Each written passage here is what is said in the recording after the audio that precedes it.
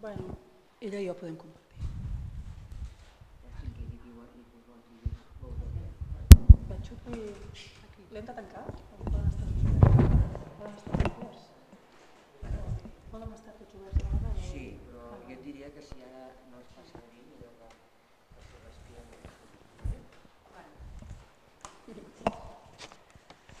Well, welcome. It's raining, so when it rains in this city, things start later or people come later. But let's start. We have to stop in time. The, um, the discussion will be in English, as it was said in the, in the web, at CIDOB web. Uh, well, welcome here at CIDOB. Thank you, Maura, Ramon, Faika, and Lefteris for having come to CIDOB and to Barcelona. This is the first set, the first seminar of a set of six seminars we are organizing together with Palau Macaya. This set of seminars, which will take place from today till February 2018, aims to open a space for dialogue and reflection between the different actors involved in asylum and uh, refugee reception policies. In each of these seminars, we will discuss similar questions. Basically, what has been done, what is being done, and what could be done differently. But we will discuss them from different perspectives or at different administrative levels. So at the local, today, at the regional, at the national, and at the European level, but also at the level of NGOs and civil society organizations. It's not a coincidence that we start the discussion with cities. They have no competence in asylum, so at first sight it might, it might seem weird to start with cities, but they are the ones, cities are the ones dealing with the consequences, dealing more directly with immigration, and dealing more directly with the arrival of asylum seekers and their integration. The so-called refugee crisis in Europe has been, above all, a policy crisis. The Dublin system has proved to fail. In fact, it was already acknowledged for years. Schengen has also been under fire. In fact, we could say that if Dublin doesn't work, Schengen doesn't work either. It has also been a policy crisis in the sense that many countries, in many countries, accommodation facilities were not in place or could not cope with the arrival of asylum seekers. And finally, which is not a policy crisis as such, but it's rather a solidarity crisis, member states are not even complying with their own commitments in terms of relocation quotas. So in this context, we would like to discuss what cities have done and what cities are doing. The academic literature on immigration and integration policies at the local level, which is growing in the last decade, argues that cities tend to be much more inclusive than national states, that they are much more inclined or in favor to provide immigrants with equitable opportunities, to accommodate ethnic diversity, or to work with immigrant organizations. So a key question here is, how does this supposed or alleged inclusiveness of cities translate in the field of asylum and uh, refugee reception policies? The second set of questions we would like to discuss today is what cities or what, what cities could do or what could be done differently. In his famous book, If Mayors Rule the World, Benjamin, uh, sociologist Benjamin Barber argues that cities and the mayors that run them offer the best new forces of good governance. He, Barber, gives many examples and many reasons why this is so, or he argues that this is so, but in the field of migration, he argues that this has to do with the fact that cities are unburdened with the issues of borders and sovereignty, which is precise, precisely what prevents, according to him, what prevents states from looking for real solutions as well as from working with one another. So cities, and here I'm following Barber's argument, cities are unburdened with issues of borders and sovereignty.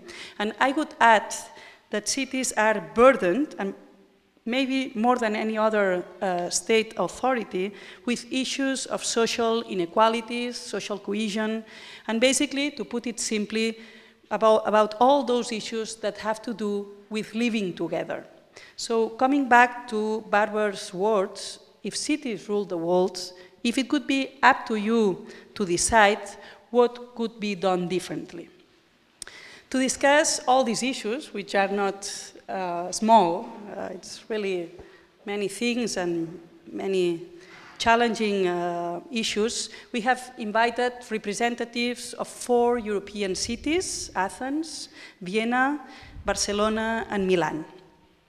Lefteris, let me introduce them very shortly, and then we start the discussion. The discussion. Lefteris Papagiannakis is first deputy mayor and head of refugee and immigration affairs at Municipality of Athens. He is a member of the Athens Municipal Council and president of the Immigrant Integration Council. He was born in France and studied in France, and he also worked at the European Parliament. Faika El Nagashi she is a member of the Vienna Provincial Parliament and of the Vienna City Council. She has been working on anti-racist and anti-discrimination issues since the mid-90s, and she is still a political activist, but also became a politician uh, within the Vienna Green Party. Ramon Sanahuja, many of you may know him. Since 2007, he is the Director of Immigration and Interculturality of the Barcelona City Council, so to say it uh, straightforward, he has been behind Barcelona's migration and intercultural policies almost from the beginning. Uh, in the last years, he is also responsible for the new plan for irregular settlements and also for the pioneering refugee attention protect, uh, project Nausicaa, which I think he will explain to us. And finally, Maura Gambarana. She is the Chief Officer of the Foreign and Immigration Department of the City Council of Milan. She has been working in the municipality of Milan for 28 years. She has been the director of the International Affairs Office, and then she decided to shift to uh, policies uh, dealing more directly with immigration as a way to work more directly with uh, social issues and uh, social processes. So let's start the discussion. Instead of asking them to present uh, their uh, cases, their cities, their policies, we decided to articulate it as a discussion. So I will be posing questions and we will continue till the end. We will open as well at the end the floor for uh, discussion. So the first question I would like to pose you is what are the main challenges of your municipalities what are the main challenges your municipalities have to respond to in the area of immigration in, gener in general? So maybe we can follow the same order, if that is. Mm, yes, hi, uh, thank you for the invitation, first of all. Um, for us, I would like also just to start by saying that you have four cities, and I believe that we have four different systems mm -hmm. for different, um, you know, state of minds and uh, for different sets of possibility and capacities. Um, for Athens, one of the biggest challenges is to find solutions concerning housing, because in, in Athens and in Greece in general, housing will be the next big issue. Not that we don't have space, but we don't have the framework to, to do it. For example, we cannot build social housing uh, in Athens. We don't have that mandate. So this is one big challenge, and the next, the, the first big challenge is, in a general sense, integration. We have been dealing with migrants for more than 30 years in Athens, but unfortunately the Greek state and the municipality, I don't want to uh, take us out of this uh, equation, uh, we haven't dealt with migration in a very serious way. I mean, we have plans and strategies who are very well written and articulated, but never have been implemented. So this is a big challenge. And uh, we are starting to talk about integration due to the fact of the arrival of refugees, which is a completely different group of people having different needs. And so we have, for example, the old migrants complaining that since we are here, you never did anything for us, so now you're doing everything for the refugees, and what about us, etc., etc.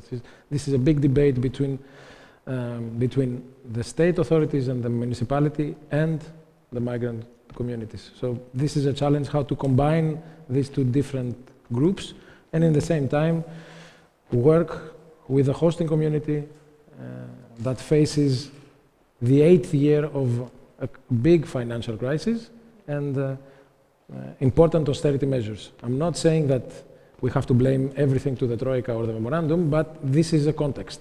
And we have to keep it in mind that we are working into a different set of programs, problems and uh, challenges. So we need to combine all of this to sustain uh, social cohesion, which is the next big policy of the city of Athens.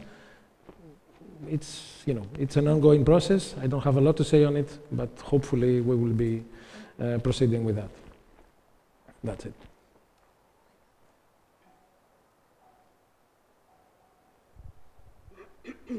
Okay, so yeah, thank you. So first of all, thank you for inviting me. And is, is this too loud sometimes? Yeah. Okay, is this better? Okay, so thank you very much for inviting me and uh, for having this discussion, which I find very interesting because absolutely I agree that we have different uh, mindsets, but also different realities in our cities. And before I answer your question on the practical level of what actually I would say is the biggest challenge, and I think it depends on who you're asking, also from the municipality of Vienna, and at what moment in time you're asking the question, you know, depends, that, that, that will uh, influence the answer that you're getting.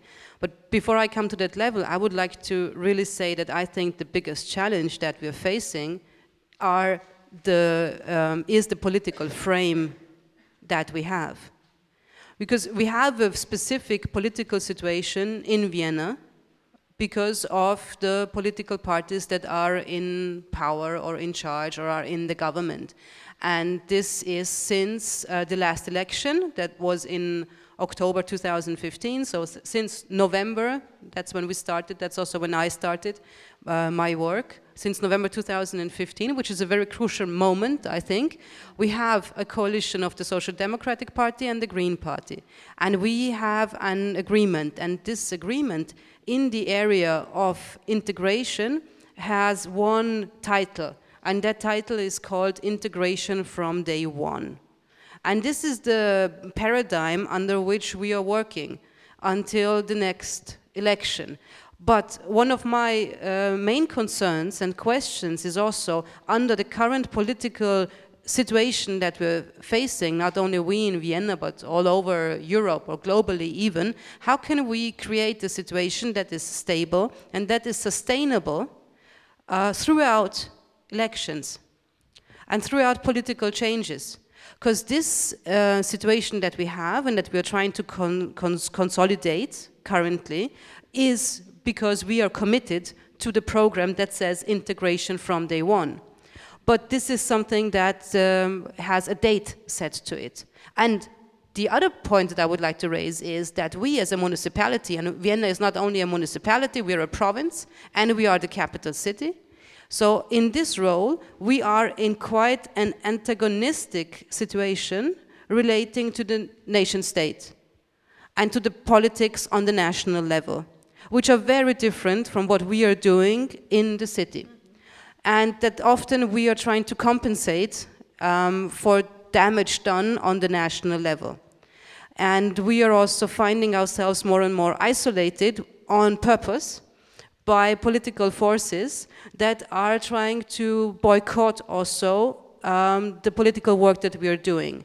And that is possible on two levels. Uh, one is to do that by con uh, constantly um, uh, politically attacking what we're doing, and the other one is on a very practical level through budget uh, budget cuts and the lack of resources. So the question is also, even if we say integration from day one, which consists of a number of measures, for how long can we keep that up as a city if we do not have support on the national level? Or on the contrary, if it is even, you know, counteracted on the national level. And then to just say some words on the actual challenges or measures, I would agree with what, what you said, though the situations are very different, but housing is one of the primary challenges that we are facing. So Vienna, as the capital city, has a number of uh, pull, pull factors for refugees who live in different parts of Austria to eventually come to Vienna, which is a very good thing in terms of networking, communities, and also opportunities. But we in Vienna end up with an estimated two thirds of the refugees in Austria, which is in total numbers around 50 to 60 or maybe 70,000 individuals. So to provide housing for a big group of individuals with a very specific situation is uh, an actual challenge and I think that we did not approach that yet uh, as much as we should. Thank you very much for inviting Barcelona in this uh, event. Uh, I think most of the audience knows much better the situation of Barcelona perhaps than the situation of the other cities. So uh, I will try to, to explain. First of all, uh, I agree that the context situation of, of, of the every state determines quite a lot the, the answers on the situations. The legal frameworks, for example, are very important in order to see possibilities uh, on, on, the strategies on the integration of migrants, refugees, etc. Uh, it's true that uh, I would say Barcelona is more a migrant city rather than a refugee city. If we look in a perspective of what happened here in the last 17 years, uh, the uh, flow of migrants uh, overwhelms the flow of refugees. Okay, but maybe.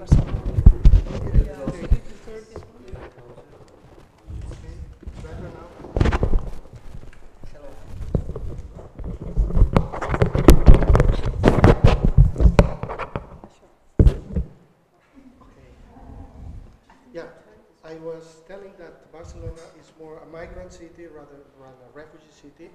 If we look at the figures of uh, what happened in the city in the last 17 years, the, the number of migrants overwhelms the number of refugees. Although the last two, three years, refugee issues are getting more important and we're getting uh, bigger figures compared with the past, but still, the numbers of migrants coming to our city are much bigger than uh, refugee cities. Afterwards, we will come especially into the refugee issues, but I would say it's more important for the city, the situation of, of the migration. Uh, which are the challenges? Uh, first of all, I would say there are some challenges that are shared with the rest of the population of the city, which are, for example, I would say access to housing. Okay, this is affecting everybody, migrants, migrants especially.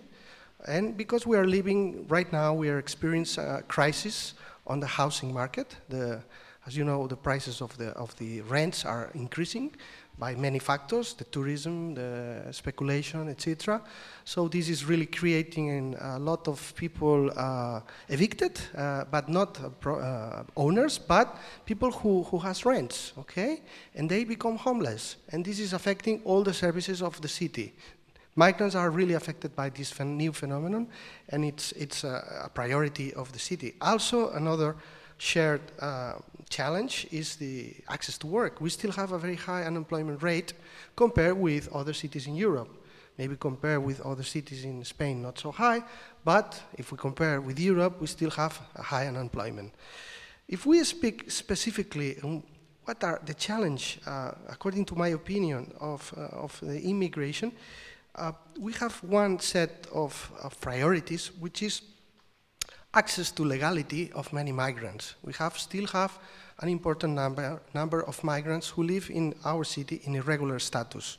Okay, it's a few, few thousands, ten thousands more, and they live in a irregular status. So our priority is to provide them legality status and to provide them help to uh, get uh, legal uh, permission, or resident permission, and work permits. So this is one set of priorities. Uh, if we look at what happened in the last years, another set of priorities is real equal opportunities in the job market. If we analyze and we see what our migrants are working on, what type of industries, what uh, type of, of work are doing, we see that are quite in the lower scales of, of, the, of, of the qualifications. So are we really giving opportunities to migrants to, uh, to uh, you know, with social mobility? I, I don't think that much. There's a crystal ceiling in the job market for many migrants, and I think this has to be braked, okay? And also, this is also related with the education, okay? Also, we are seeing not very good indicators on how migrant children are performing, uh, what we call uh, ch children of migrants, second generations, that's so called. And the indicators are not so good in the school. We have a problem with segregation in school in the city. We have a problem in, in uh, access to post-obligatory uh, uh, education, access to university or uh, better degrees. And there's here, it's, it's a big inequity between migrants or uh, citizens of Barcelona with migrant uh, origin and the rest of the population. And this really is jeopardizing the future of the city. I think this is something that we have to keep in mind. And finally, uh, I would like to uh, explain that I think we have a, an interesting asset or positive thing, is that historically in our city we had political consensus on the, on the issue of immigration policies. Since 2002, all the political parties from the left and from the right more or less had the will to agree in some basic uh, policies. Okay, and, and this has really helped uh, the professionals who are dealing with the, with the policies to, to have like a stable uh, uh, context. And uh, we, we haven't had these discussions on, on the public uh, uh, opinion on, like in other countries like Austria or like Holland. And I think this is something positive. At least in, in Barcelona we have this uh, very, very positive attitude by most of the parties that really had helped to this process. Thanks. Thank you very much for inviting me. I'm from the City Council of Milan. The situation in Milan um, is uh, similar to the other cities. I don't know if, uh, okay. And um, uh, the, the, main uh, challenges uh, we have are um, more or less the same of, my, of the other colleagues. But uh, I will say that uh, Milan is more a city of refugees uh, because refugees are becoming more and more interest of politicians, and so we are more. Um, um, more engaged in uh, facing uh, the problems uh, linked to the accommodation of refugees instead of working on integration of migrants. Uh, this is, uh, of course, a pity, but uh, I will say that this is um, also because the, um, the media, the communication, the, the press um, is um, uh, um, is, is going to um, wants to know more and more how we uh, we have to um, how we spend our money for uh, refugees. And that's why we are now uh, concentrate our works on uh, um, looking for accommodation of refugees, and this is uh, the main um, challenge in Milan because um, unfortunately there are less accommodation sites. But we have, uh, of course, uh, um, a problem linked to the, to the lack of housing in the cities because uh, Milan is a big city, but uh, a lot of people coming uh, from South uh, Italy are families and are big families. That means that they have got 10, 12 children with them. And in Milan, we are not able to find apartments for so big families and this is a, a big, uh, big problem we are now facing. And then another problem linked uh, to the refugees is also uh, mental diseases uh, because these people, uh, in the last uh, six months, people were coming uh, from from from the south uh, um, are um, have got um, a lot of are vul vulnerable people, people with mental diseases, and we are um, we are not prepared to to face this this big issue. And of course, uh, um, uh, um, uh, as um, my colleagues told you, we have got some challenges linked to the education of migrants, people who live in Milan, and especially second generation because uh, um, also as a city we are, as I told you before, we are more concentrate on uh, refugee uh, on refugees accommodation and uh, um, problems linked to this um, category, and we we are in the last six months we are working less on migrant integration and I think uh, uh, we, we should uh, be more um, engaged in facing also the, and giving the opportunity to migrant fa families living in Milan to have uh, better conditions uh, in schools uh, and in, in job. Because of course the other big challenge is having a job, having work because there is uh, no work uh, opportunities also for Italian people.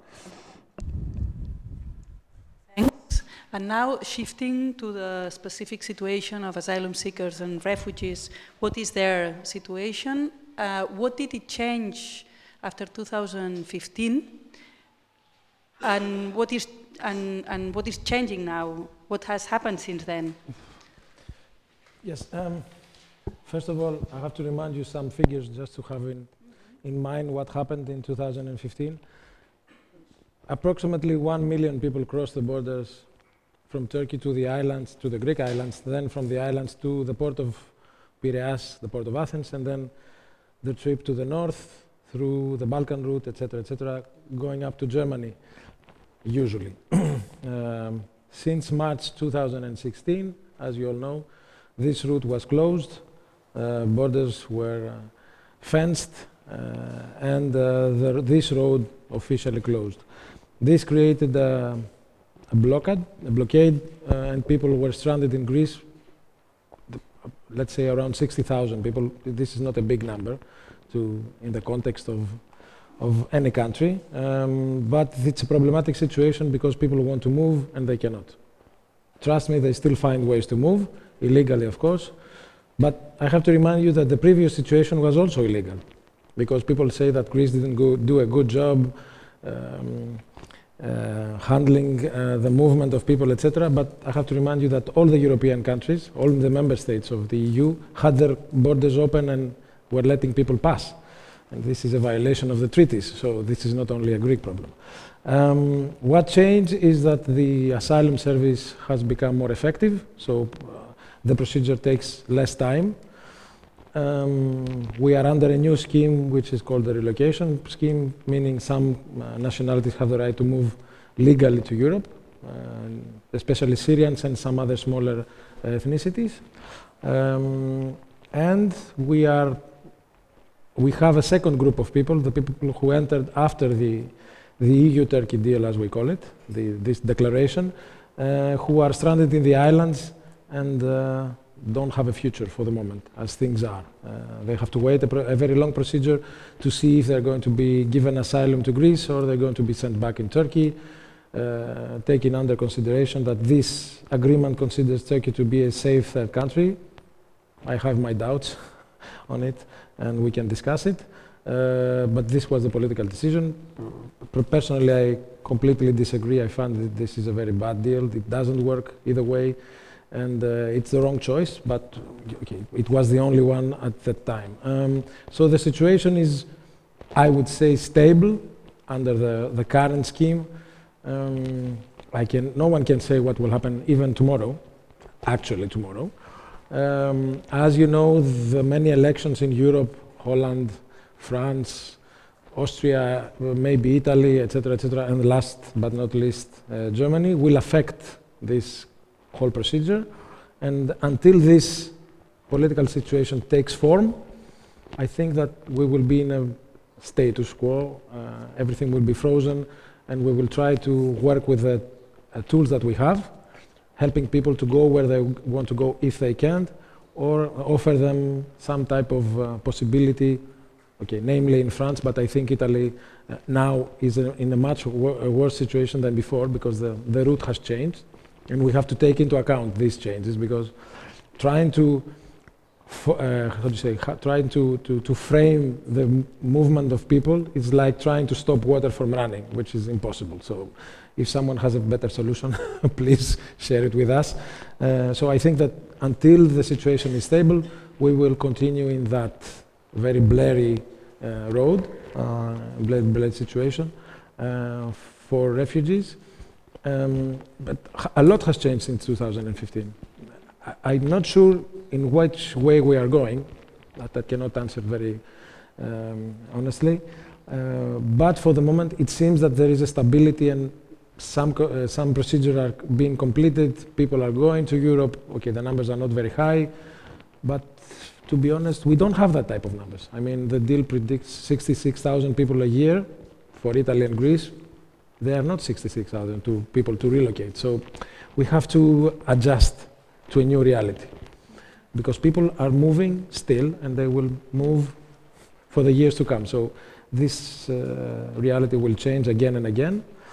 And what we see now, it's just the tip of the iceberg. We are talking about 1 million people coming into Europe, but we have 65 million people moving all over the world. So 1 million, 65 million, it's, it's nothing. So I think that we've, okay, we reacted into a new reality, but now we have to adapt to this new reality and find a, a plan that is holistic, integration, European proposal for integration, as, as long as we are talking about the European Union, but also the other countries have to understand that this movement doesn't concern only Europe. So, I mean, refugees walked from Syria to the north of Russia to cross the border with Finland. this, is, this is the reality. This is, you know, talking about, no, no, no, we don't want them here, we are going to stop them. For me, it's not realistic. So we have to change the, the, this, the, this narrative and to look things from the other way.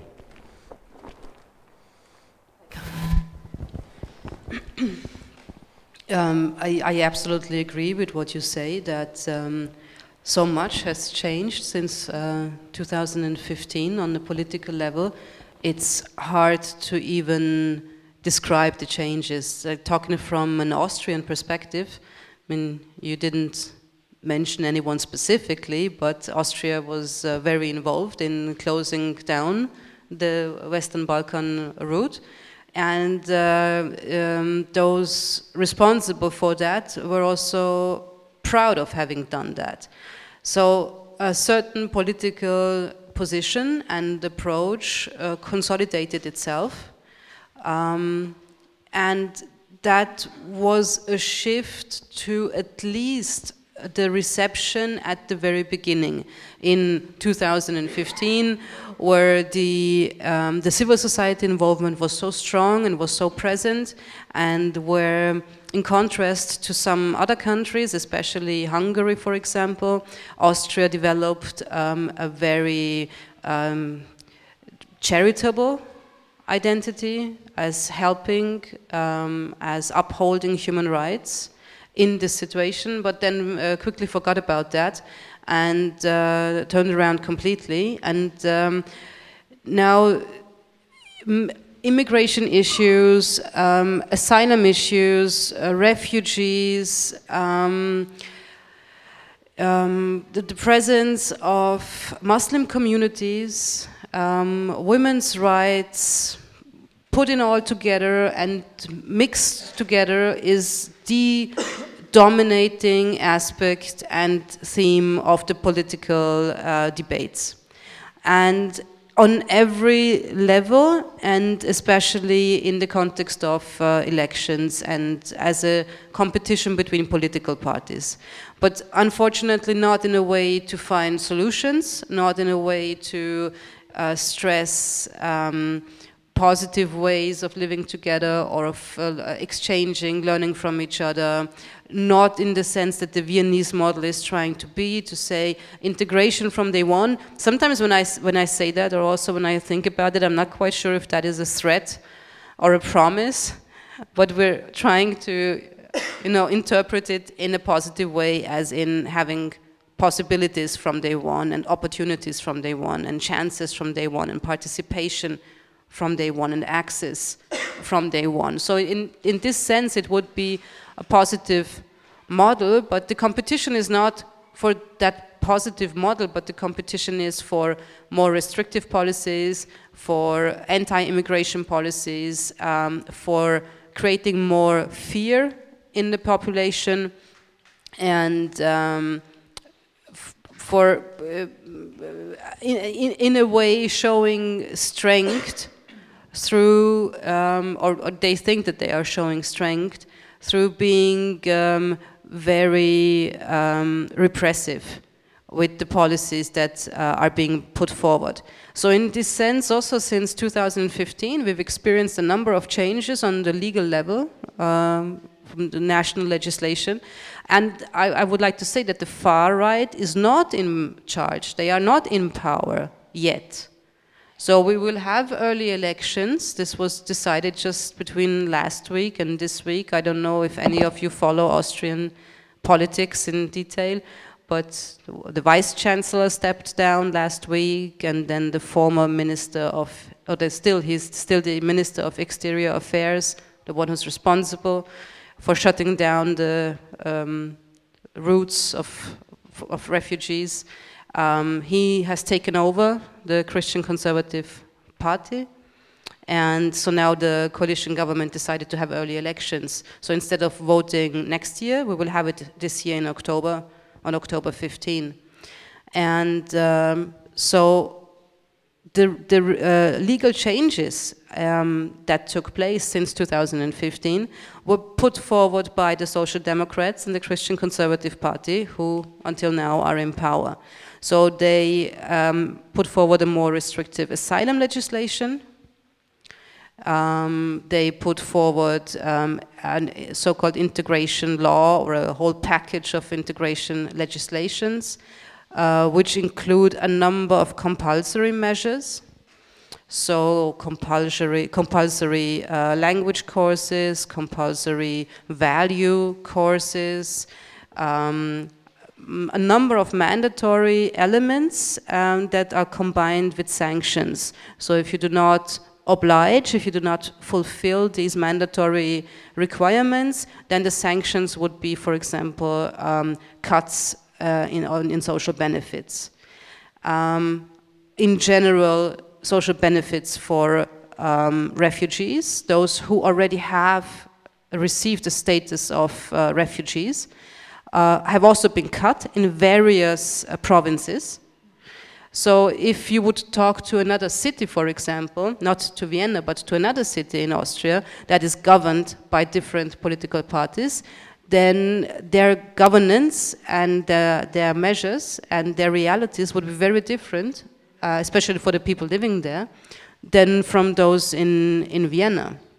So we already have this implemented in various provinces, that uh, if you access uh, social benefit or you want to access social benefit, but you, your status is a refugee, but you are recognized legally, you, uh, you know, your case is through, you would get less, just less money. And, which is very, very uh, difficult to uh, understand. Like, how are you supposed to live with less than your neighbor when you're in a similar situation? And uh, maybe just to say two things. One, with regards to the housing, um, the, the, difficulty is not only to actually have the, the, the, the, apartments, the houses, the rooms, the places. In parts we have them, in parts we don't. So in, in parts we have to build more and we have to build faster. And that is a responsibility that we have uh, on the political level. But in parts, the private sector, it, it is very difficult to access if your status is um, a refugee, if your language competence in German language is very low, and if your income is non-existent. And these are the elements that are very relevant to the landlords uh, who are renting out and who will, in 99% of the cases, not rent out to a person um, uh, that fits these criteria. And also responsible for that is a change that's also been taking place since 2015 on the political level, in, on the level of the political discourse about the topic, and on the level of the media discourse. Because the media has been constantly, since 2016, since the beginning of the year when the Cologne incidents uh, happened, that uh, you might remember, um, has been constantly painting uh, an image of uh, a threat that uh, comes from refugees uh, of violence, of crimes, um, of aggression. And uh, with these images that are being created and the political discourse that is using this um, as a competitive element in, in the context of, uh, of elections and of just a, a political play, um, it is very, very difficult to create uh, a sense or a sentiment of solidarity in which it would be possible for people to uh, rent an apartment, even if their uh, current uh, conditions would be difficult. But um, as um, it is so adversal uh, in, in the public um, uh, discussion and debate and in the media, how it is presented every day, we have this very, very difficult situation where we have to provide housing because the private sector can simply or will not um, be doing this. And just to, to finish um, the, my point about the, the, relevance of the political frame, when uh, Benjamin Barber asks, uh, so what would uh, the world look like if mayors would be ruling, then I would like to ask, well, from what party? Yeah. Mm -hmm. Okay. Thank you.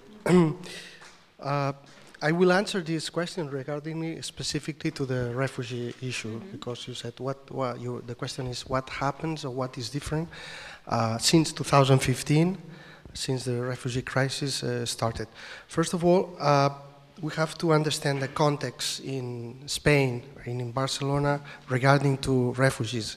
Spain historically has been not uh, a country of refugees until 2013-14, the number of applications in the whole country was maybe 5,000, 6,000. So for a 44 million country, it is the figures are really ridiculous. And uh, above that, 80% uh, of the applications were rejected. So uh, really, the refugee issue, the refugee uh, rights and the asylum seekers was uh, not very popular. It was not nothing uh, really uh, big, so important. It's important, of course, from a qualitative point of view, human rights view. Uh, I'm not saying that it's not important. It's very important. But the figures were that when you see it are not, not so, so big. Just to give you some examples, in 2005, 2006, only in the city of Barcelona, we received 60,000 people, migrants, in one year okay, and the city more or less give answer and give uh, respond to that. So the context with refugees is uh, low figures until that, but then uh, we there was a, a, big mobilization, a big uh, uh, the civil society really was uh, really shocked because of the, what we were seeing in Greece and in, in, in Syria and the big uh, uh, travel of the people in, in, in, in the sea, of the Mediterranean Sea. So there was a big mobilization of the civil society uh, claiming to help uh, Syrians, okay? I think this was a very positive response by, by the city. We saw a few months ago uh, in the form of a big demonstration, uh, which really with a lot of people in the streets claiming for uh, helping uh, the Syrians, refugees in Greece and Italy to, to just to claiming the states to fulfill their agreements. So I think that that was very, very interesting.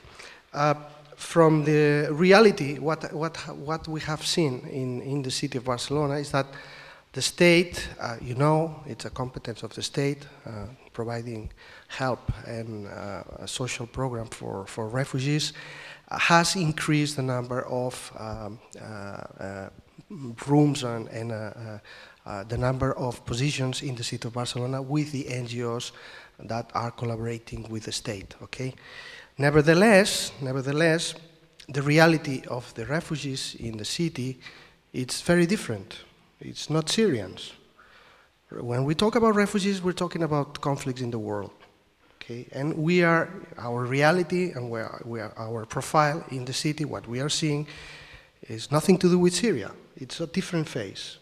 We, in the last year, for example, in our service that we uh, attended 2,200 people, 2,200 people. Uh, the number one nationality was uh, people claiming uh, asylum status from Venezuela. Okay, there's many conflicts in the world that have an impact, this globalization, in the city of Barcelona. The first one was Venezuela. The second one was Ukraine. The conflict in Ukraine, nobody talks about it, but still have a very important impact in our city. The third was Honduras and El Salvador. Okay, Pakistan too. And number seven, eight was Syria. This is the reality. So people was expecting to receive by relocation and reubication Syrians, which they did not arrive, very small figures, they have arrived by relocation or relocation. And instead, we're having different kinds of refugees. Okay, this is like a paradox. Okay, but it's the reality, and I think they have the same right, a Ukrainian and a Syrian, to claim asylum seeker in Spain because they suffer also persecution and, and, and uh, very severe conditions and where they live. So uh, this is very interesting. Uh, a positive thing is that thanks to this mobilization of the civil society, nowadays there are more sensibility and more uh, knowledge on the law of the refugees. There's more places where we can detect refugees. Very often in the past, many refugees in Spain couldn't have the chance to claim asylum status. They just were treated like mi migrants, and the migrants' law were applied to them. Now there are more NGOs, more lawyers who know the difference between a refugee and a migrant, and so they can orientate, they can give advice to claim people uh, the refugee and asylum seeker status. So this is a positive aspect. So we have more people claiming refugee asylum status in the city. The figures have really grown a lot, grown a lot. And uh, the bad news is that we are doing by ourselves with any communication and any contact with the administration who is competent on that, which is the state administration. Okay, the state administration, they deal with NGOs who act in our city, they send people here, they have a program who, can, who, they, who people can access, but we don't know how many, we don't know where. If you ask me, Ramon, how many refugees are in Barcelona? Truly speaking, I don't know. Nobody knows. I don't think even the minister knows. We can get some estimations, okay? We can guess some estimations, but the reality is that, that we don't know. Working in these conditions is very, very difficult. So what do we do from the municipality? So we try to fill the gaps because the program accessing the program of the state is uh, sometimes complicated, especially if you're not vulnerable.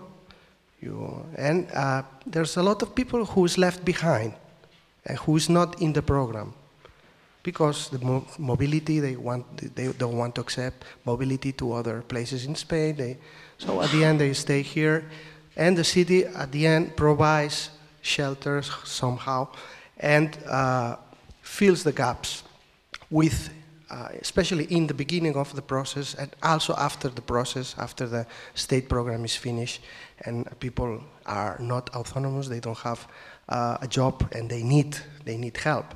So there's the city providing some uh, programs that I will, I will explain later. But I, I would like to just to give you one very important idea. Uh, most people in Barcelona said, oh, where are the refugees? Ramon, where are the refugees? They are not arrived.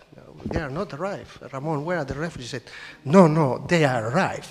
But they are Ukrainians, they are Venezuelans, they are from other countries. So please tell your uh, people you know that yes, we have many refugees in Barcelona from many other conflicts. Maybe we don't have so many Syrians, but we have other refugees refugees have arrived. Last year in, uh, in which is a place where we help people, we attend migrants and, and, and refugees, we attended 2,200 people claiming uh, asylum seeker. Actually, Milan is similar to Barcelona. Uh, because uh, the big change uh, we had was in uh, 2013 because there were there was a big number of Syrian families and people people um, coming from from Syria and the Milan changed uh, its way of facing this problem because uh, uh, Milan was at first um, a city of transit for refugees and now it's uh, no more a city of, of, of transit because uh, most of uh, people coming from the south of Italy are now staying in Milan and uh, are um, asking for um, uh, um, asylum uh, seekers, are becoming asylum seekers. And so uh, we are now changing from uh, um, an emergency situation uh, in a normal situation. I mean, um, at the beginning, uh, we, we just uh, provide them accommodation and meals. Uh, but from uh, the last uh, year, uh, the, the, the, people who are coming are staying in Milan, and so the, the big challenge is now trying to integrate them and giving them not just accommodation and meals, but also all the services. And this is, of course, a, big uh, issue. And another, uh, another uh, transformation is about the way people are looking to, to these asylum seekers because uh, in 2013, uh, mm, the Milanese people were all uh, involved in the accommodation like in Barcelona because uh, they, they wanted also to host these people coming from Syria. Now uh, we have less people coming from Syria and more people coming from Eritrea, and so we, we don't find uh, the, the, people um, open to, uh, to host them like, uh, because the people fear um, refugees, feel, fear that uh, a lot of uh, people are coming from South Italy and are not able uh, to move uh, to, to the northern of uh, Europe. and that's why they, they are not more involved in helping them. And so uh, you, uh, there is uh, this, this fear that you can um, you can see, you can. it's, it's really um, a, a, big a big change that, uh, that is going on.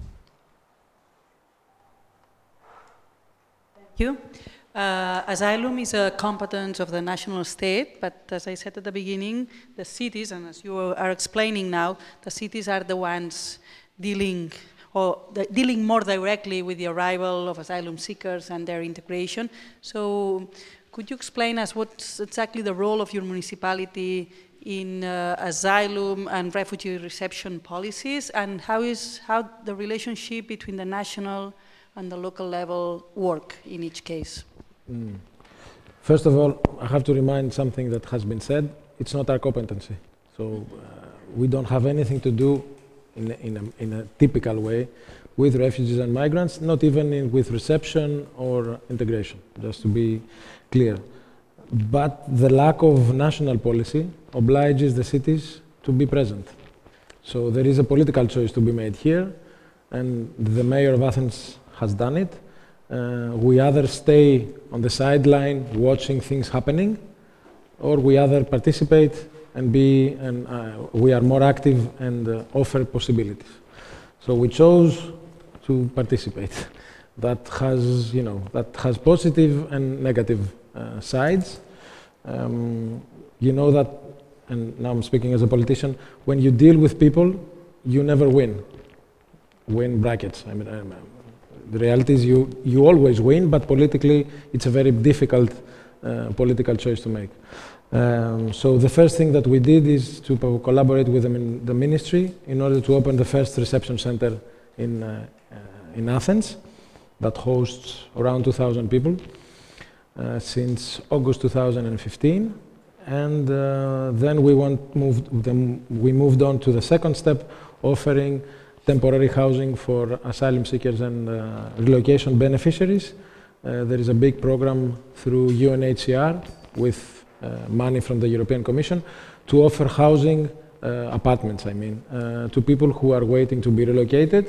And now slowly we are opening the program to people who ask for asylum and are going to stay in Greece. Um, now we have to move to the third step, as I mentioned before, uh, to offer social housing for refugees, recognized refugees. Unfortunately, this is very difficult, and uh, because if you don't have a social housing program for the hosting community, you cannot have a social housing program for refugees. Imagine if we offer uh, housing to refugees and leaving out uh, homeless Athenians. It would be a disaster politically and practically also, uh, and and it's not fair. So this is also a difficult political decision to make. And we are waiting for a plan, and this is one of the things that, as municipality, we are doing. Um, the, the, ministry um, announced the plan for 2017 and 2018 in broad lines. Uh, and after that date, we will have to find the solutions on our own without any type of support from UNHCR or other organizations. So this is one of the things that we have to do. We have to be prepared for the next two years what we will do after.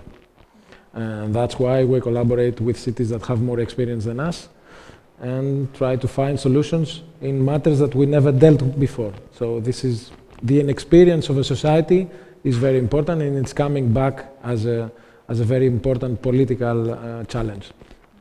Because as Maura said uh, there is a change in the perspective.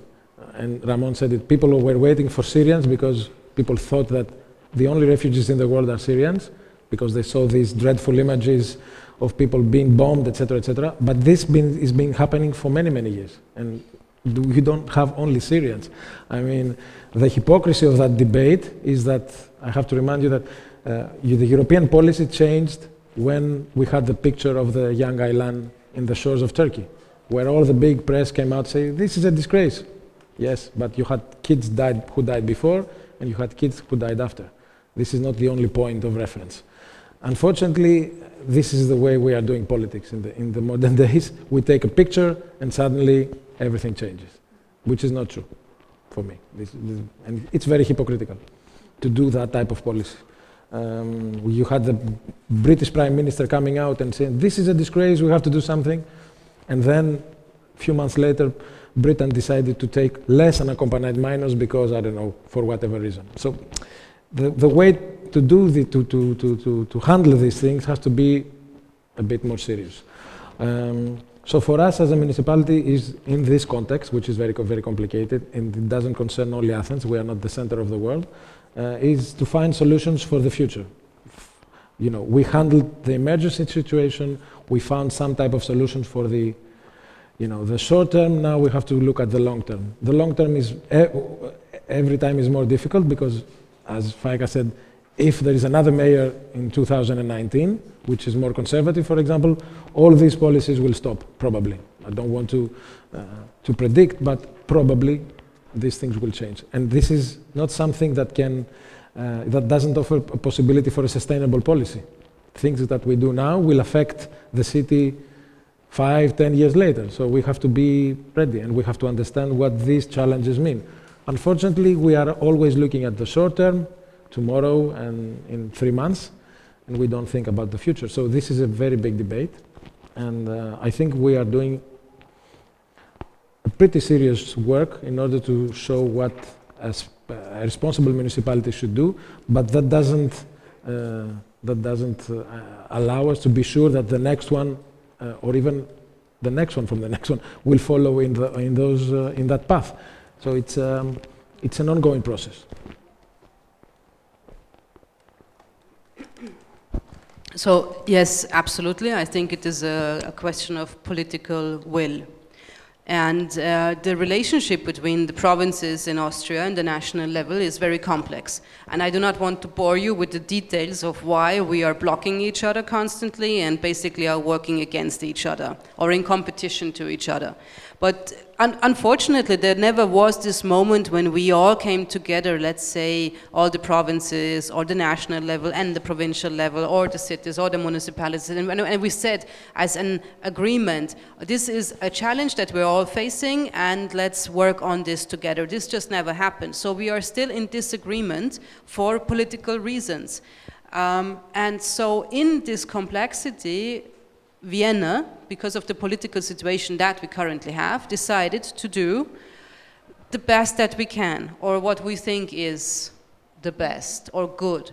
And that means doing more than uh, is uh, foreseen on the national level and not waiting for the measures from the national level. So one element that is in the national uh, decision and competency is the distribution, the regional geographic distribution of refugees that come to Austria.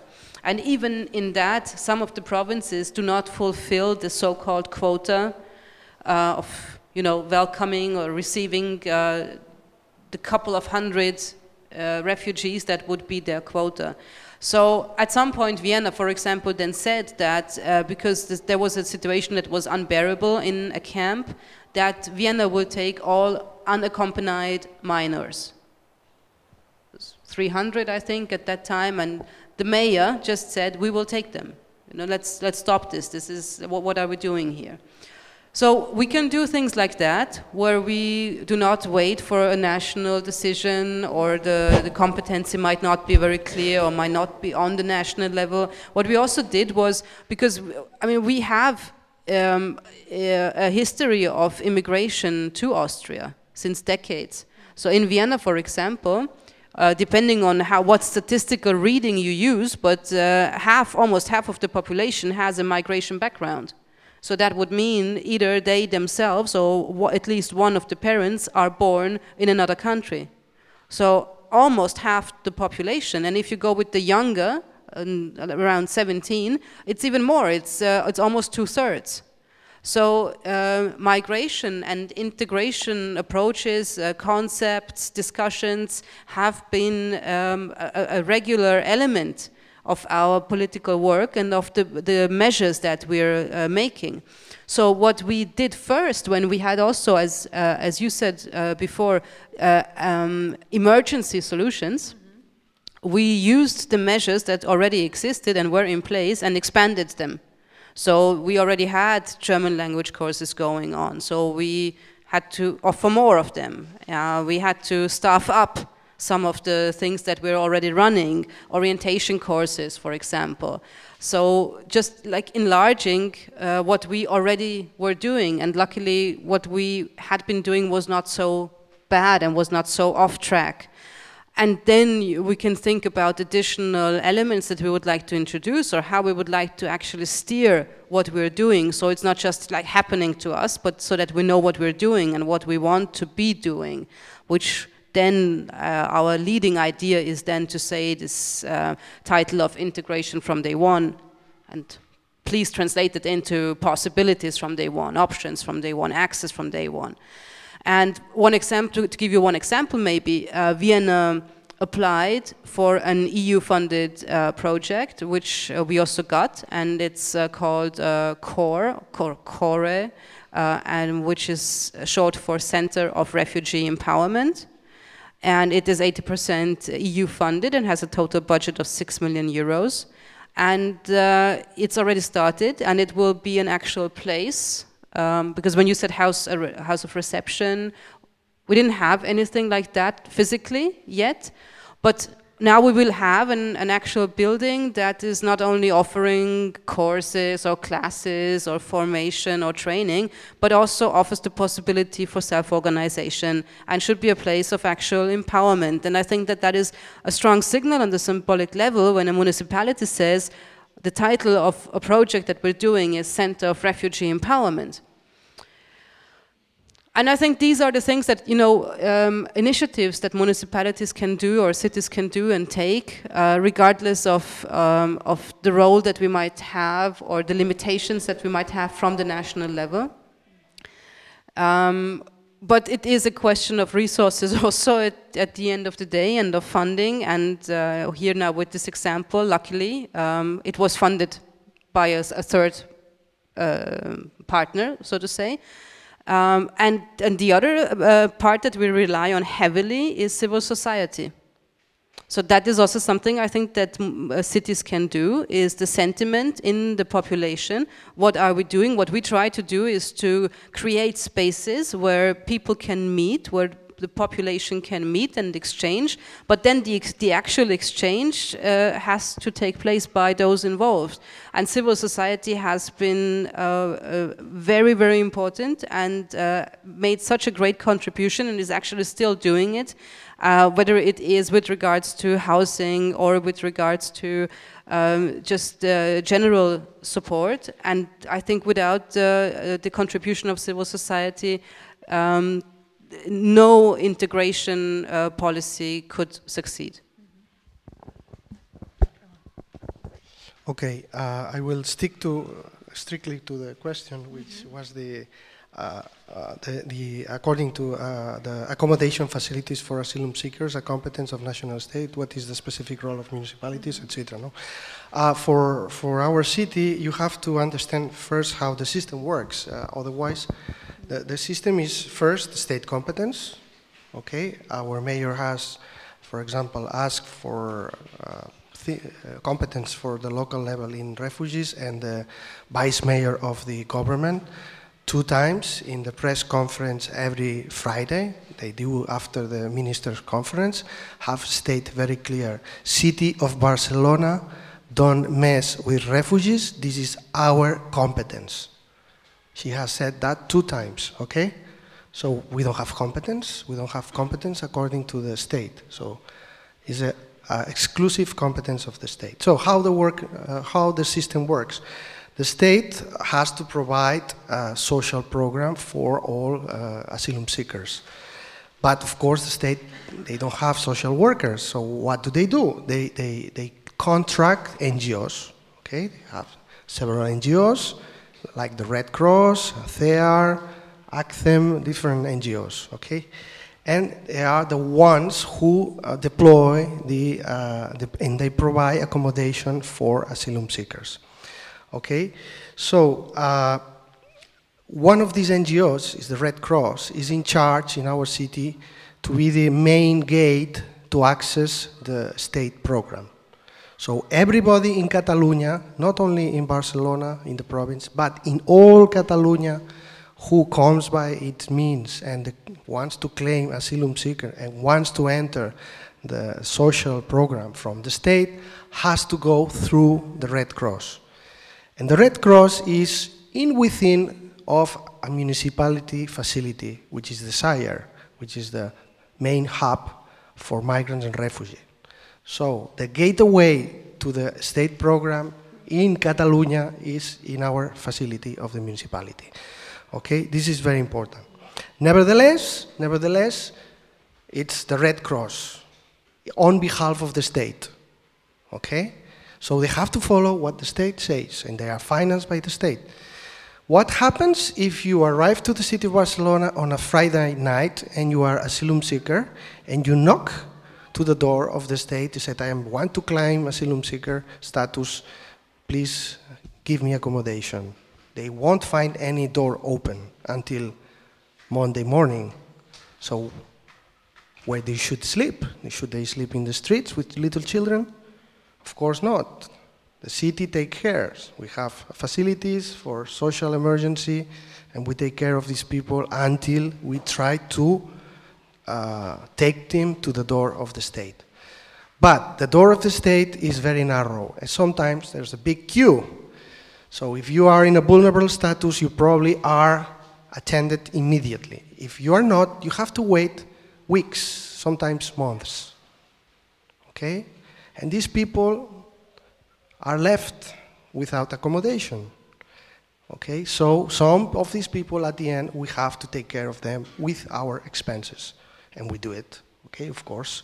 So this is very important. The system is not working. The system is a disaster from our point of view.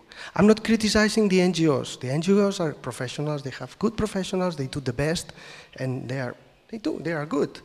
But how is organized? The system is very inefficient. Okay, so uh, we have the SAIER, which is the main, it's a door, so people can just open the door and ask, I'm a asylum seeker, I want advice. So we provide advice, legal advice also, to claim the asylum status for free to them. And we orientate on this bureaucracy, really, really red tape issue, which is very complicated. We do this since 1989. Since 1989, we do the legal advice for refugees in the SAIER. It was created originally for refugees because we had the crisis of the refugees of Argentina, Chile, of the Latin American countries, dictatorships. And we had an issue here, so we create this facility. At the beginning, very small for refugees. Afterwards, it changed to migration because migrants were more important. But still, we provide, if you answer, what do we do? We, we provide legal assessment since ages, since 1989, okay? We provide accommodation for those who are in the beginning of the process, left behind or cannot access immediately to the state program because we cannot uh, we cannot bear having children sleeping in the streets. It's ridiculous. We don't have any finance by the state for that. For that, we're expending hundreds of thousands in pensions and hotels, and we don't have any finance. This is taxpayers from the city of Barcelona who are doing that. Apparently, the ministry doesn't want to know what, what we are doing, but we are, we are doing that. And, and we are doing much many other things. For example, at the end of the process, after one year and a half of the state program, when it finished the state program, many people is not, that they don't have a job, they are not able to live by themselves, so they are left in, in the city. So uh, we have two options here. One is just to address them to the social services, like any other citizen of the city, and see what the social services can do, okay? Or if they are in really, really vulnerable condition, we have a special program for these people. It's a bridge program, we call it, that it takes for one year these people in order to see if they can. It's a complementary program of the state program, also with our, our Uh, uh, money and finance. Also, we have a big problem, is the rejections of the asylum status. So many people during this process are rejected. So they have to leave the facilities, are by themselves, and get in the, in the streets. So we also have to see how we deal with these people. They become irregular migrants immediately. So this is an issue also. And then we have many, many other situations. For example, many, other, many asylum seekers who have claimed asylum seeker in other provinces of Spain, but they are sent to Jaén or Granada or Cordoba, and they say, well, what I'm doing here, I want to go to a big city. So by themselves, they come to Barcelona out of the program, and they knock to our door, said, I'm asylum seeker, I want to be in Barcelona, I want to a job here, what can I do? And well, the situation is not so good because of this uh, social crisis we're having. So sometimes we also have to deal with this. So as I told before, the, the city is filling the gaps of this inefficient system that we are having. And without any communication, who is responsible of the managing the system and with the advice of the vice mm, prime minister of not doing nothing. What should we do? We should get all these people and take it to the uh, government delegation in, in Street Mallorca and put them there and said, here, you are the competent, do it by yourself. Of course, we cannot do that. We have responsibilities.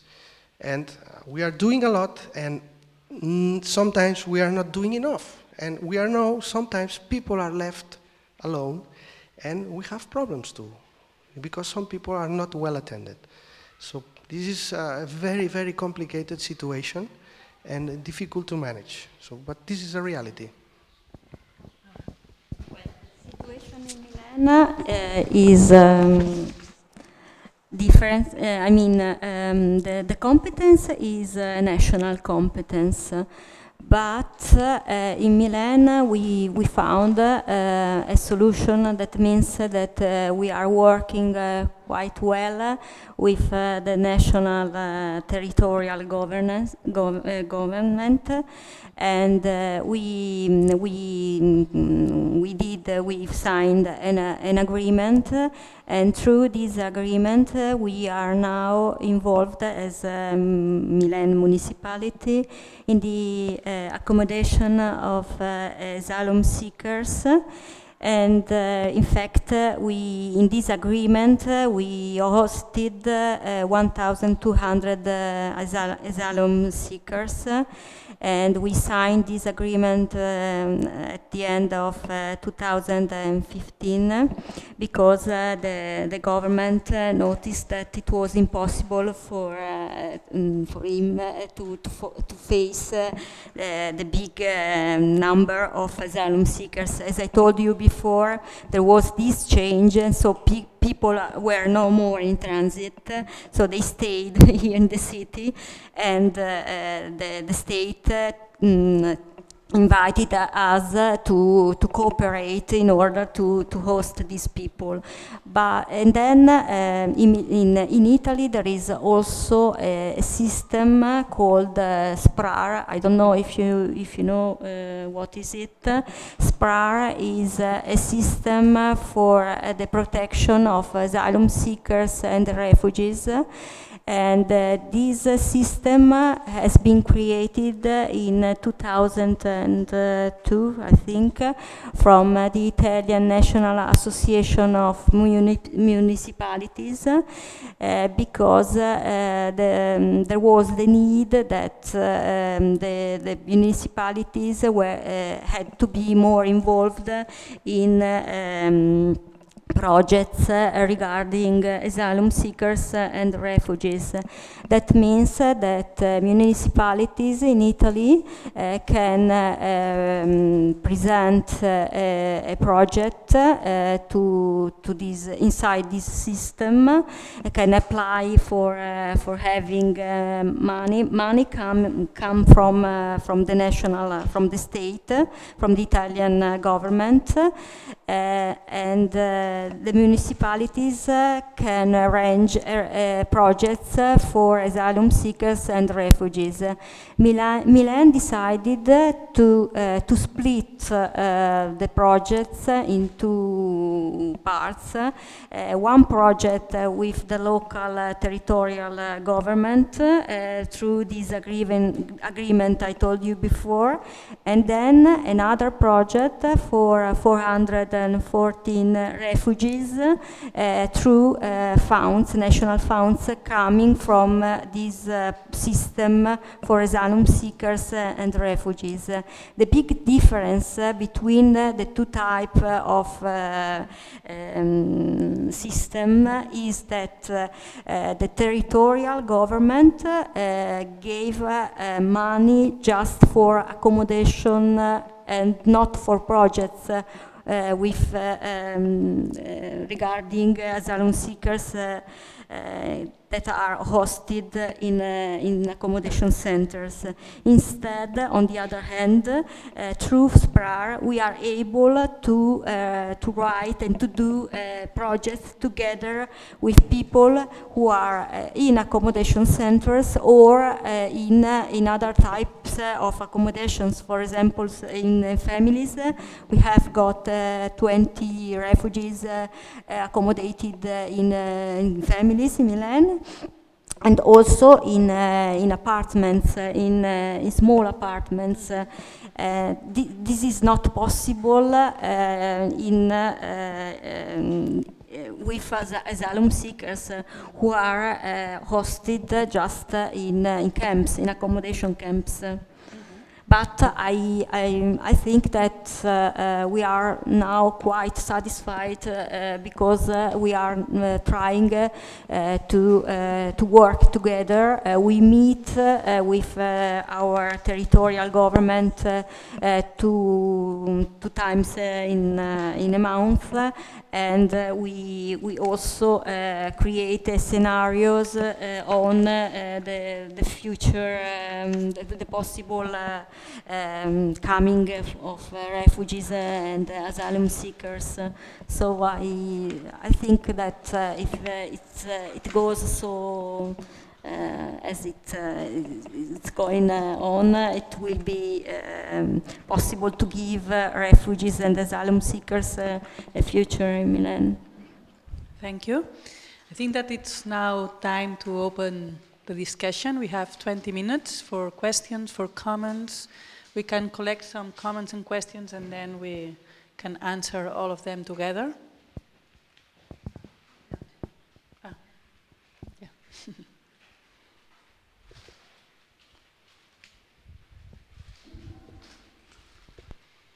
and maybe if you can introduce yourself first. Thanks.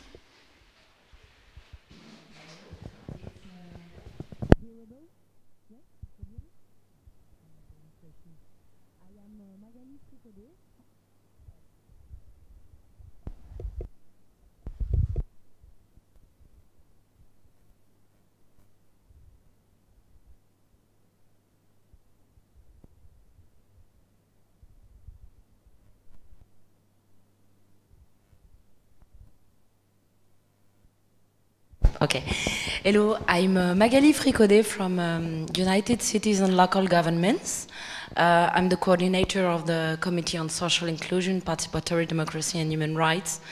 And I've had, had the chance to work with uh, Barcelona and uh, also with Vienna on the human rights cities. Uh, a little bit with Milan also on the uh, Cities Against Racism network.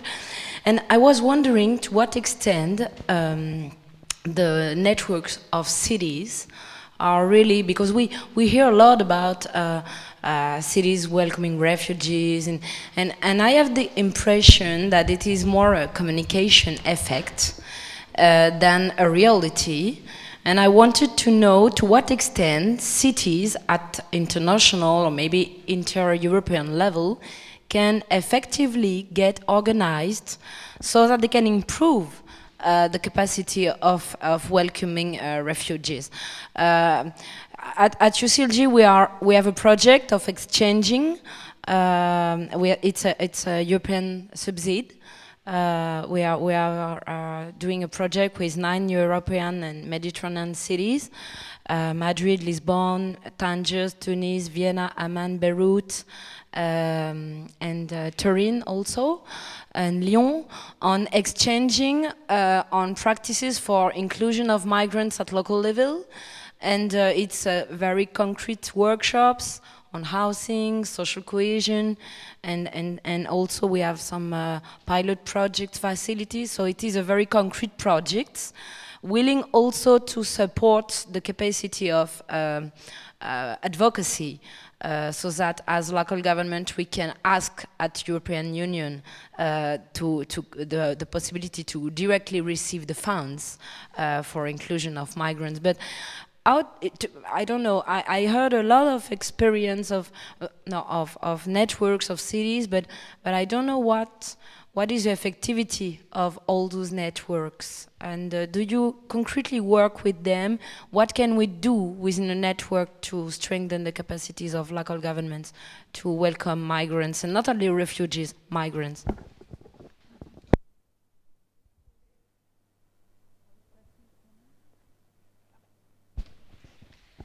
Uh, thank you very much for the presentation. Elena Sanchez from CIDOB. I have many questions but um, I'm going to focus only in two. Uh, the first one is related with uh, when we, with your first uh, with the first question that uh, that Blanca asked you related with which are the main challenges. Of course, you didn't have time enough to explain all the challenges, but most of you have focused on those challenges that are not very different in terms of when you are dealing with migrants in general. You are focused on housing, you are focused on labor market. Only probably uh, Maura mentioned about uh, psychological disease and, and, and, and, so on.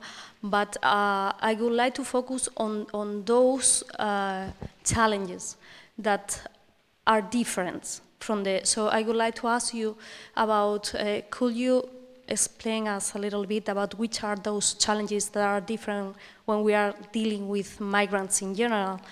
Because, uh, I mean, I'm sure that there are many more, I'm thinking some of them, but, uh, but I would like if you can explain us a little bit what you are doing in terms of differences when you are dealing with refugees and, uh, and not with, with migrants in general.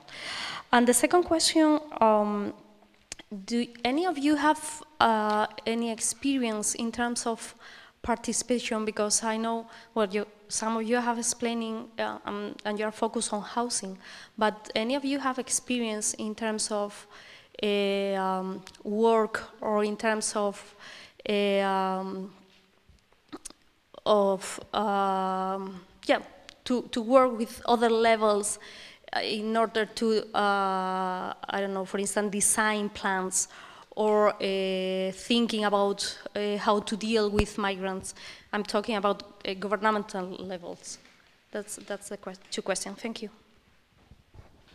Thank you. John? I'm John Slocum. I'm a visiting researcher here at CIDOB. Um, and my question is a bit related to the first one in terms of the capacity for cities to engage in advocacy. But it has to do specifically with public opinion and whether in your cities there have been focused efforts to to change public opinion and have you seen successes in that regard and if so do those successes have impact beyond your cities at the national level?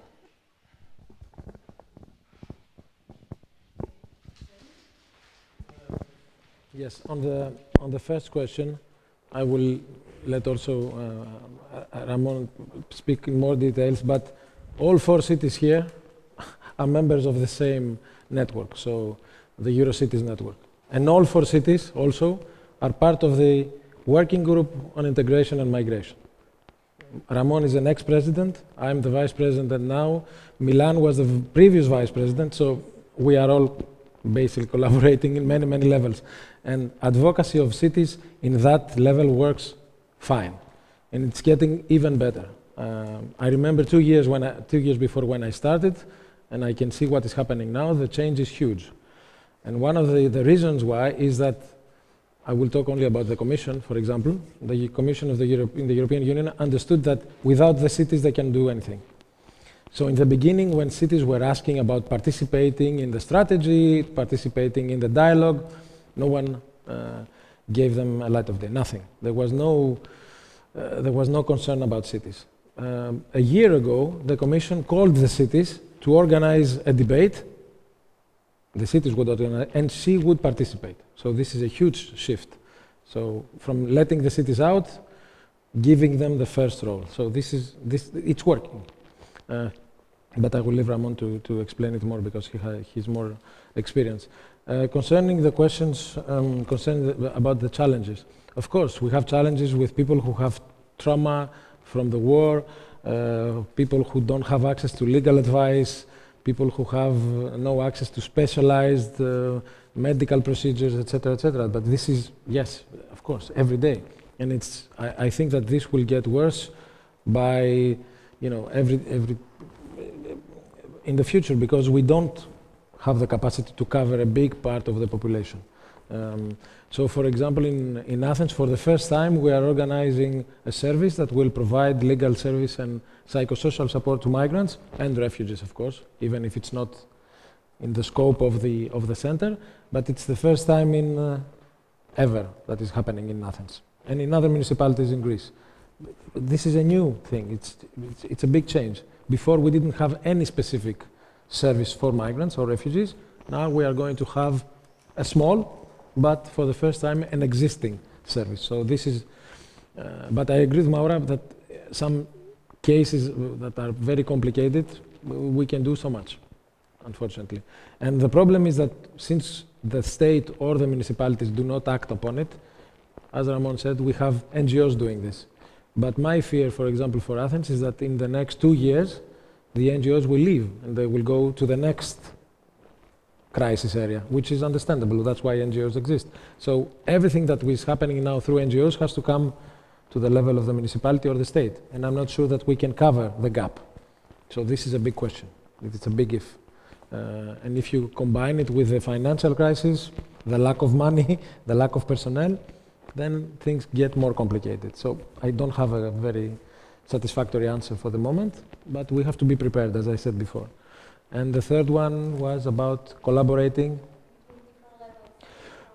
Yes, we have some difficulties as uh, Barcelona has with the central state, unfortunately. Um, we have a ministry on migration which was created last year as an independent ministry. Unfortunately, since then we had uh, four different general secretaries who got office and then resigned because they couldn't handle the pressure and couldn't get along with the minister apparently, which that doesn't concern us, but this is the reality. And uh, multi-level governance sometimes doesn't work. It's a good thing to, to have it, but sometimes it's complicated, and it has to do with the difference of political affiliation. The mayor is not of the ma majority party or some other ideological differences. This is not very serious, but it exists. Uh, so I think that Barcelona has never, you know, the, quite the same uh, issues. And the last question was public opinion. We made a poll uh, in January. 54% uh, of the uh, Athenians are feeling safe and do not consider refugees a threat. 72% of them think that it's a good thing for kids to go to school.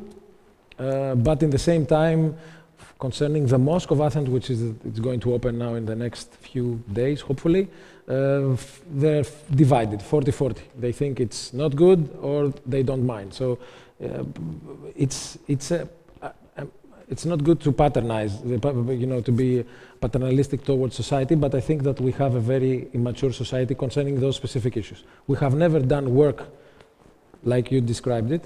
Uh, talking about migrants, doing uh, policy, um, having campaigns, etc., etc., we have to.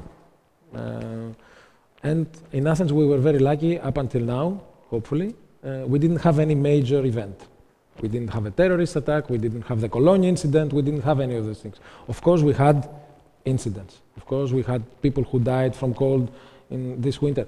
But in the general picture, in the general um, if you take into account how many people crossed from Greece, nothing happened, nothing at all. Of course, there is the story of the people who attacked Brussels, who passed through the islands of Greece, etc., etc. But this is a security issue. Uh, in, in Athens, we didn't have any major event that could shift public opinion. But we cannot always rely on luck on these issues. You have to be proactive because when the, the, the event happens, then it's too late public opinion will shift. See what happened in Germany after Cologne, even though it was not true, there was a shift in public opinion. So uh, it's something that you have to work in proactively. Okay, um, I will. I was told to be short, so I will try to, and I will start from the end maybe about uh, changing public opinion. And I thought that you said ball, so first I understood ball instead of pole, and I thought, yeah, we also have a ball. but I don't know if we did polling. I don't know what the results would be. Um, I think bad. But we have, uh, we actually have a ball, a so-called, it's called Refugee Ball if you translate it. It is an NGO initiative, but it is supported by the municipality and it takes place in our city hall. But it has been going on since 15 years. So it's also not uh, something that we came up with newly, but something that we have been doing. And we do a lot of, um, we, we try to have a lot of initiatives and support for civil society through, for example, workshops or seminars to strengthen volunteers, um, to provide information to volunteers, to civil society. We had a reception for volunteers. So we try to do these things, and I think that they are actually have effect, but with those people who are somehow conscious of the situation anyways and are involved in one way or another. But I think it is important to also communicate that we, we, we see them and we relate to them and we appreciate what they are doing. At the same time, as a municipality, we cannot actually shift public uh, discourse or, the, or uh, you, you, know, public opinion uh, in a considerable way um, when on the national level uh, it is uh, pushed in the exact opposite direction and when the media is contributing to that. So that is something that is very, very difficult and we have not succeeded in doing that so far. Even though the, the mayor of Vienna made very, very clear statements um, and, and took a human rights position very clearly, of course, when we had the election time more than in any other time, because what we would really need is actually a stable political situation that we can work in and are not constantly, um, you know, between uh, uh, various uh, opposing uh, political uh, approaches. Um, so on, on that uh, element of cooperation with various levels or different levels, that is a bit difficult and, and tricky um, as, as municipality, for example, with the national level because of what I explained. Um, but there are, of course, cooperations between the, the, political parties and their various groups, which also has an effect then. Um, and also what we do is we offer the Viennese model. So we, we make it very clear what is the specific, what, what are, are, the specifics of the Viennese model, and so we offer that as something that should be implemented nationwide. And uh, we had some part in the design of the new integration package there are some elements in it, legislative elements, which are, which actually make sense, and they, they are what we are already doing in Vienna, but transferred to the national level. Uh, so yes, that exists. Uh, with regards to housing, um, I, and there are some, there are some uh, uh legal or structural differences. Like for example, we do have social housing, uh, but how do we organize access of refugees to social housing? And there are some restrictions to that. Like, for example, you have to have uh, lived at the same uh, address of registration for at least two years before you can have access to social housing. That is a, a general requirement. But also then for refugees who have a recognized status as refugees. So there are these limitations, but also what I tried to explain earlier is if your status is refugee, then there are certain, um, there is an unwillingness on the side of uh, landlords and in the private uh, market sector to rent uh, uh, their space to you. And that is connected to the public opinion or the, the public sentiment. Um, and I think also responsibility of a very uh, destructive political discourse. And uh, on the first question about the network of cities, um, I honestly, I, I, don't even know how many or which networks, city networks Vienna is part of. Uh, but I'm a strong believer in networks and in networks of cities. And especially uh, with the focus on human rights, uh, anti-racism, um, European solidarity cooperation. And yes, it might be very much on that level of, um, of communication and not so much in the reality of um, cooperation yet, and, and more with elements of capacity building and exchange and best practices. But I think that, and maybe that is a utopia, but I'm actually convinced that the time will come, maybe within the next 10 years, when we will have the results of all of these networks, and we will have this reality of uh, cities taking on their roles much stronger than they are doing it today. And I would actually love for Vienna to be much more outspoken, more than we already are, and we are a bit, as a human rights city, for example, um, with the geopolitical role that we have, with the Viennese model that I've been praising uh, all evening now. Um, and I think that um, if, if you take on such a role, it can be also something that would encourage other cities to also, um, as, as you said, Ramon, earlier, uh, when you were saying uh, it's, this is none of your business, so uh, let us deal with this. So to say to define uh, the areas of competence um, uh, in a new way. So I'm, I'm optimistic here. Very quickly, try to respond. Our main uh, way to lobby at European level is the Eurocities network, okay? I think we, we are doing an interesting job. For example, our mayor had the chance to speak directly to different commissioners, Commissioner Ab Avramopoulos or Commissioner Cretu, and uh, explaining that the funding that it, from the AMIF funding, the AMIF, there's a, a funds for integration of refugees and migrants by the Commission that goes to the state members, and it should go to the local administrations in many countries in Europe. It's not happening.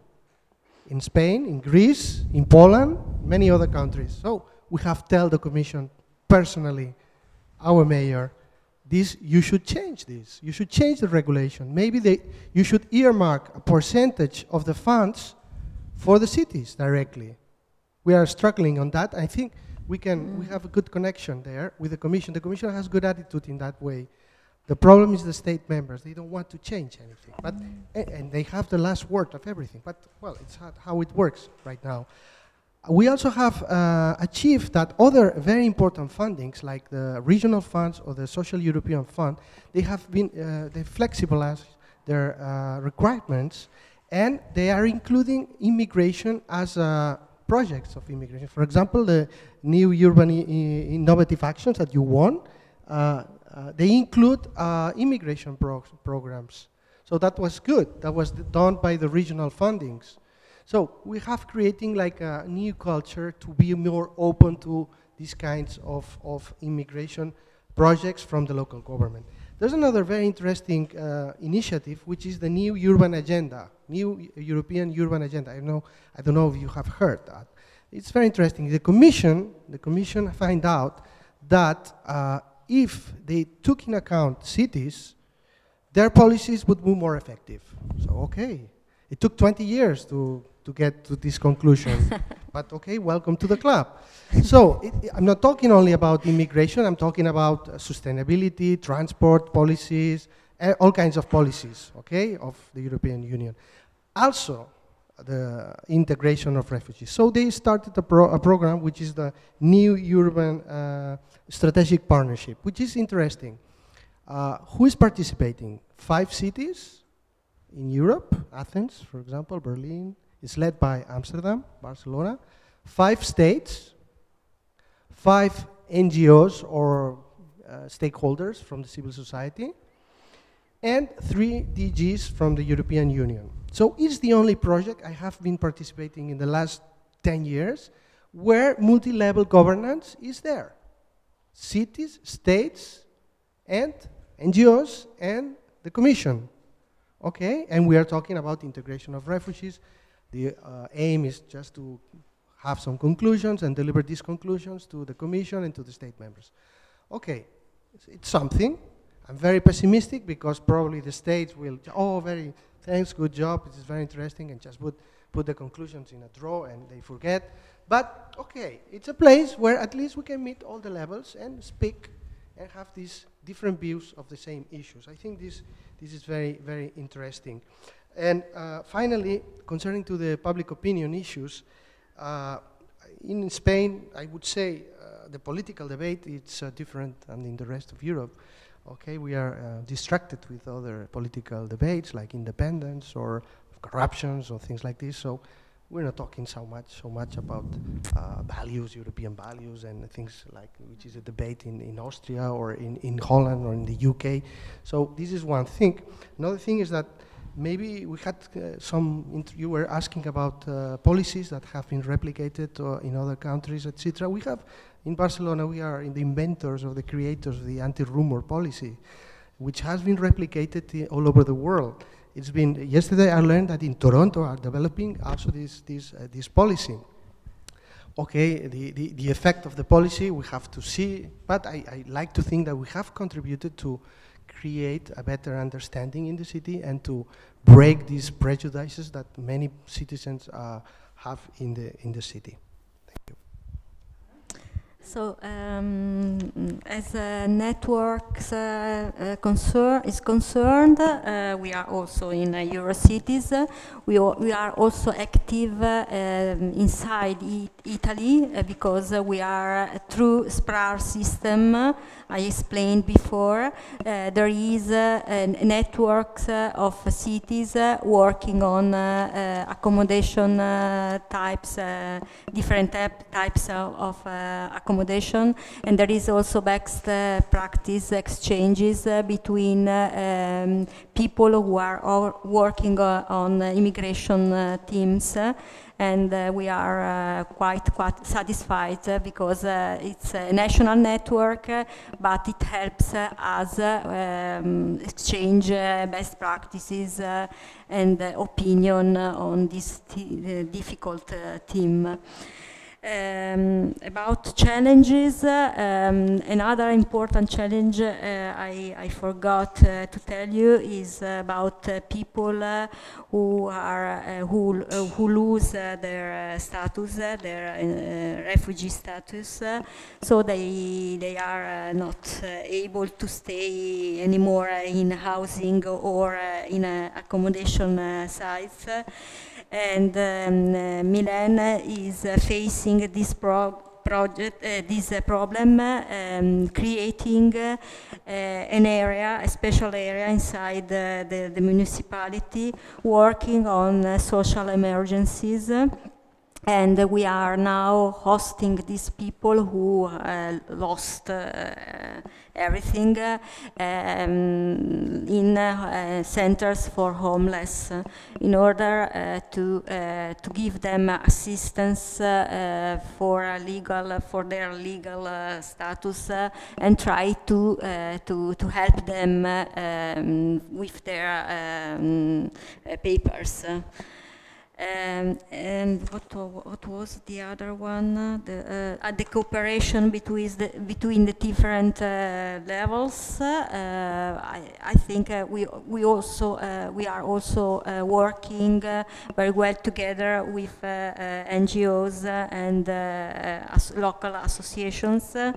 we we create um, a network with the, with local association who are a member of our projects uh, and uh, they, they, participate in, in our project, giving refugees and asylum seekers, offering language courses and um, also services, social services.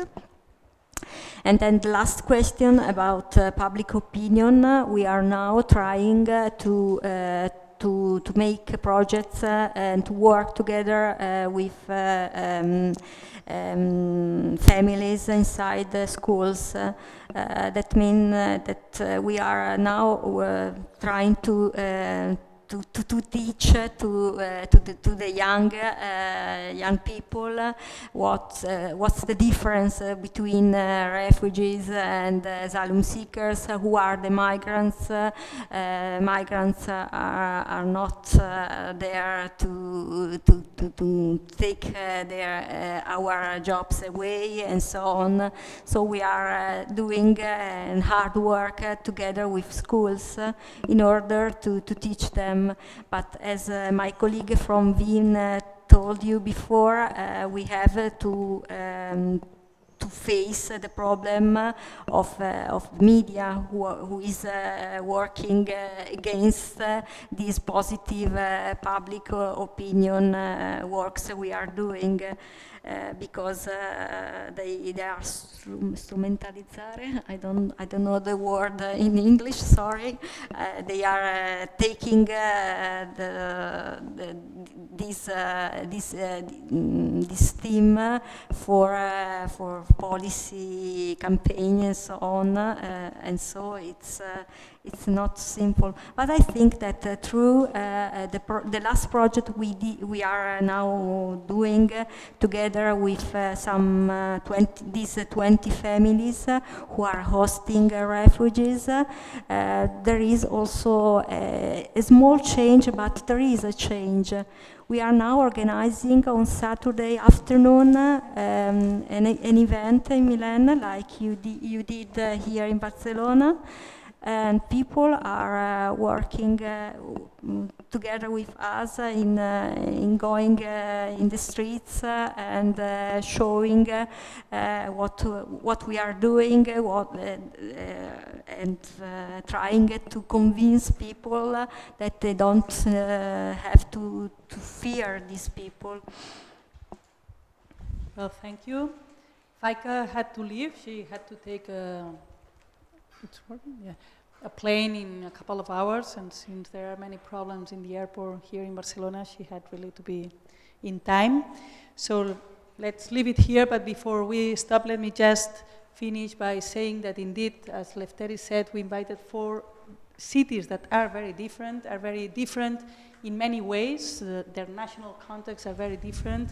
The multi-level governance in each country is very different the migration and refugee realities in each city are also very different in terms of flows, in terms of numbers, in terms of origin. Uh, Ramon said that Barcelona was a city of migration rather than a city of refugees. Maura said that Milan was the other way around, a mm. city of refugees rather than a city of migration. Also, politics are quite different at the local level, but also at the national level.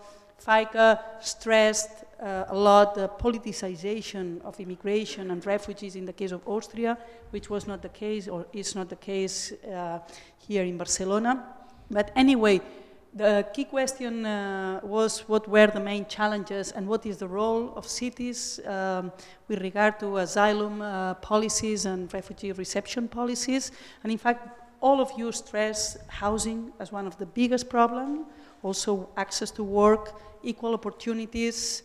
Um, but about the role of cities, I think that all of you, maybe except Maura, uh, stress the fact that cities are doing what the state is not doing or filling. You said, Ramon, cities are filling the gap. Uh, Maura said, I uh, know, sorry, um, Faika said they try to compensate the damage that is being done at the national level. You said, uh, Lefteris, that um, the lack of national policies oblige us to be here, to be there.